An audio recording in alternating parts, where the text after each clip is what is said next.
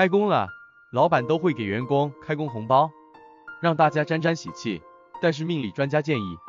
最好别花掉开工红包，可以拿它当钱母，钱滚钱，招来财运。新的一年要有一番新气象，办公桌也要记得整理前进，启动新的磁场，让事业亨通。使用开工红包作为招财钱，还有以下好处：传统文化的传承，象征吉祥与好运，增加家庭收入，增加财富，加强家庭凝聚力，增强家庭成员间的感情，促进幸福感，增加生活质量，消除坏运气，增强财运。作为投资，可以累积财富，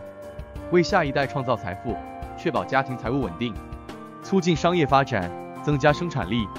增强信心。促进创业精神，累积社会资源，促进社会发展。